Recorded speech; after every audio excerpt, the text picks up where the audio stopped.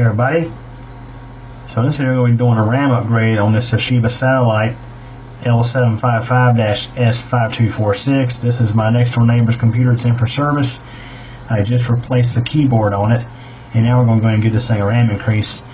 It currently still has the stock 4 gigabytes of memory.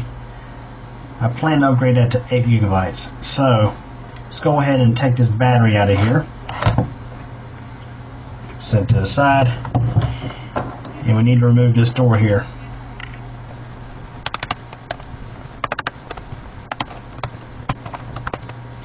Okay. So this laptop has a 4 gigabyte kit in it. It's DDR3 SODIMM modules. Let's go and take these modules out. Yep. It's got two 2 gigabyte modules.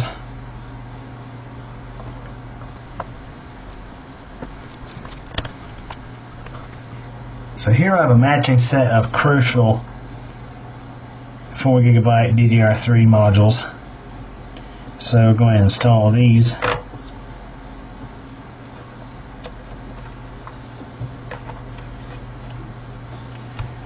Make sure they're well seated into the slot.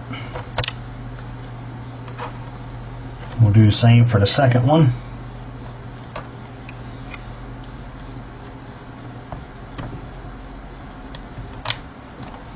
Okay.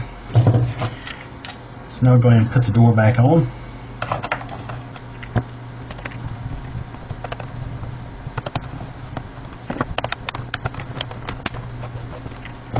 Go ahead and reinstall our battery.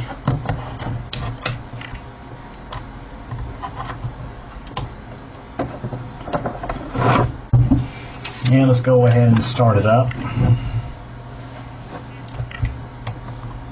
Verify that it does start up.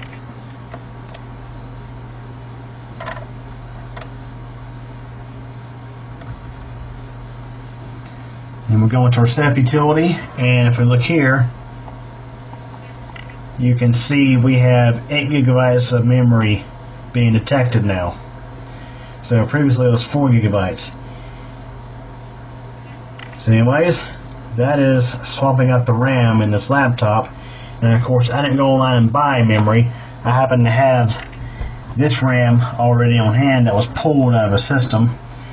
So what I put in here was uh, DDR3 1066. This may support um, a faster module. But anyways, you can see we're up and running now. We don't have an OS on here right now because I had backed up the SSD and had wiped it after I backed it up and we got to put something on here. So that's something I'll be doing in a later video. So anyways, that wraps up for this video.